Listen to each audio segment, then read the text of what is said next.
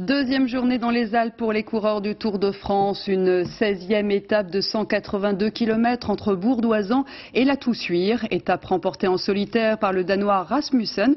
Et c'est l'Espagnol Oscar Pereiro qui endosse le maillot jaune de leader. Nathalie de Rinxin, José Boulestax. Ce matin, il était encore le grand favori pour la victoire finale. Cet après-midi, Floyd Landis était au ralenti. Il ne gagnera pas le tour. Aujourd'hui, l'étape s'annonçait spectaculaire. Un terrain de jeu exceptionnel, le galibier, la croix de fer. Armstrong, présent dans une voiture de course, n'aurait raté ça pour rien au monde, le public non plus. 187 km avec des spectateurs de tous les côtés, venus des quatre coins de la planète, voir passer le peloton. C'est fantastique, c'est ma première fois sur le tour, c'est formidable. Un tour d'amour qui n'en finit pas de séduire. Aujourd'hui, c'est Rasmussen, le Danois, qui lance l'offensive et part seul vers la Toussuire.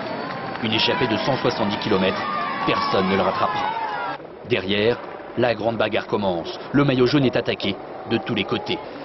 Cyril Dessel arrive à suivre. Floyd Landis traque.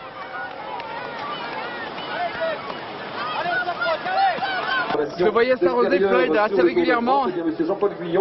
Des fois ça veut rien dire, mais j'ai eu un petit pressentiment. Je me suis dit si s'arrose comme ça, c'est qu'il supporte mal la chaleur. Et, et puis quand je l'ai vu garer, ben, ça a confirmé ce que je pensais.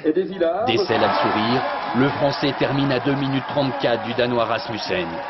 Avec les meilleurs. Ce soir, Dessel est quatrième au classement général à 2 minutes 43 du maillot jaune. Ah, il est surprenant. Il est étonnant et il est frais. Il. À la Toussuire, l'Espagnol Oscar Pereiro a récupéré son maillot jaune. Au classement général, 5 coureurs se tiennent en moins de 4 minutes. Voilà bien longtemps que le Tour de France n'a pas été aussi indécis.